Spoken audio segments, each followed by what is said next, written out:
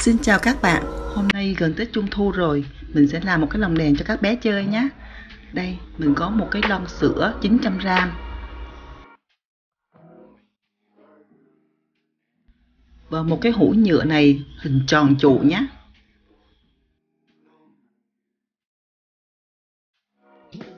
Và các vật liệu khác như băng keo, kéo, kìm và thước, bút chì, vân vân và đây là một cái móc áo nữa nha các bạn. Và cần thêm một thanh gỗ khoảng 1 mét nữa. Và bây giờ chúng ta sẽ thực hiện nhé. Trước tiên, ta sẽ lấy cái hũ nhựa và đo lên từ đáy lên tới miệng là 9 phân rưỡi. Và chúng ta sẽ đo hết xung quanh hũ.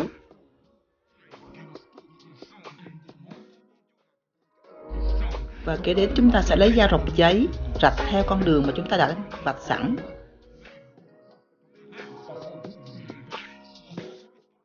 khi mà dao rọc giấy rạch được một đoạn mình có thể dùng kéo nè, mình cắt cho nó an toàn hơn nhé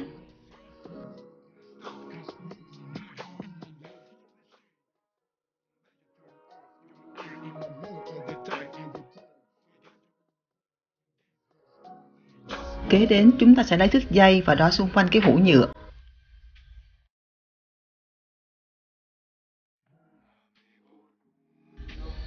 Và mình sẽ lấy một cái tờ giấy A4 màu, mình đo lên cái độ dài mình cần đây.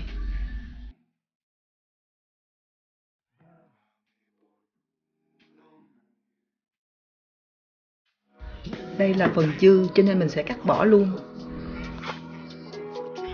Để cho chắc ăn mình sẽ ướm thử xem hai cái bằng nhau chưa nhé đặt tờ giấy A4 ra mình sẽ đo chiều ngang từ ngoài vào trong là 1 cm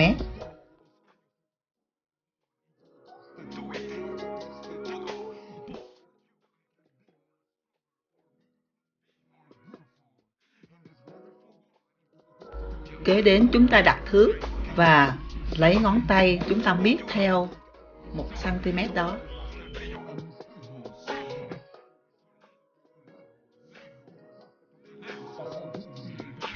Tương tự như vậy thì chúng ta cũng làm cho cái ờ, chiều ngang bên kia nha các bạn.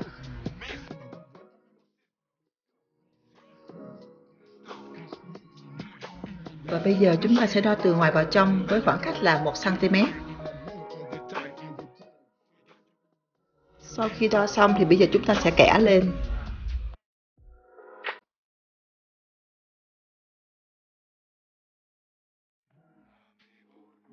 Kế tiếp chúng ta sẽ dùng thước đặt vào những cái đường kẻ sẵn và dùng dao rọc giấy rạch nhé các bạn.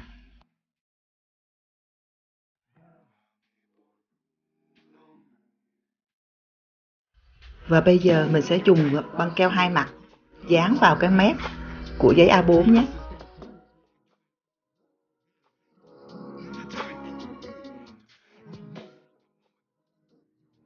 Tương tự như vậy, mình cũng sẽ dán băng keo hai mặt vào cái mép bên kia luôn.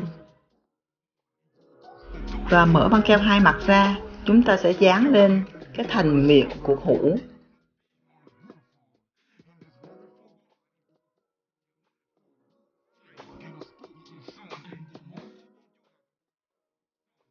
Ta đã dán được ờ, cái phần ở đầu rồi, bây giờ chúng ta cũng thấy là nó cũng sắp sửa ra dán cái, cái lồng đèn này các bạn ha tiếp tục chúng ta cũng sẽ thực hiện dán luôn cái phần đẩy của hũ luôn nhé. Và bây giờ chúng ta được một cái lồng cho thật là xinh. Mình sẽ dùng một cái cây nhọn dùng lửa của đèn cầy hoặc là lửa bếp ga và mình xiên qua cái đáy lồng để làm một cái lỗ nhé. Và tiếp tục mình sẽ xiên qua hai cái lỗ trên cái miệng của cái lồng luôn. Còn đây là cái lon sữa mình đã xịt sơn qua cho nó đẹp nè và mình sẽ làm luôn hai cái lỗ của đáy và cái ờ, nắp luôn. Móc đã được cỡ thẳng, bây giờ mình sẽ bẻ một đoạn thành chữ L khoảng 41 phân nha. Và ghim qua đáy lon lên phần nắp. Rồi chúng ta sẽ gắn nắp vào luôn.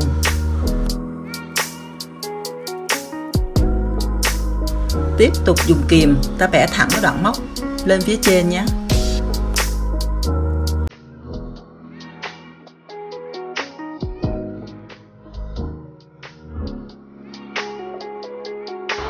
Và ta đặt cái đáy lòng vào cái đoạn móc này ghim xuống luôn. Dùng một đoạn kẽm, chúng ta sẽ xỏ qua cái à, lỗ ở ngay miệng thành lòng.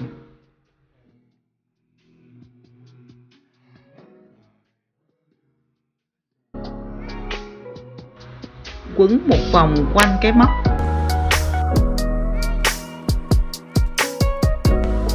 Và xỏ dây qua cái lỗ còn lại để định vị lại cho chúng nhé. Phần móc ở trên đầu chúng ta sẽ vẽ ngang qua.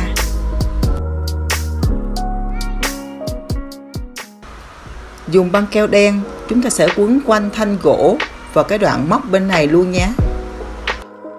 Và đây là công đoạn cuối cho lồng đèn nha các bạn.